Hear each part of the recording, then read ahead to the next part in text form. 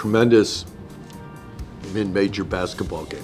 Uh, I thought both teams offensively just, you know, shot lights out, played real well. I think defense kind of went home for the holidays early, but you know, I just kind of thought that we wasn't that our defense was that poor, their offense was that good. I think Jess is a very special player.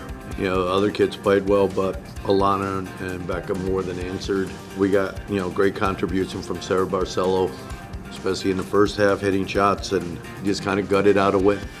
I just tried to be aggressive. Um, our team worked so well together.